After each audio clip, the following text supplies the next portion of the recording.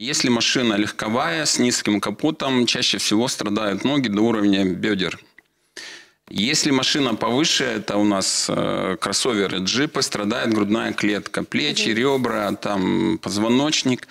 Если машина э, высокая, бескапотный, допустим, автобус, там 99% черепно-мозговая травма. Кости конечности могут остаться целы в большей части, а страдает голова. Плоский удар, голова довольно орган тяжелый, и удар приходится в голову. Вот такие вот травмы.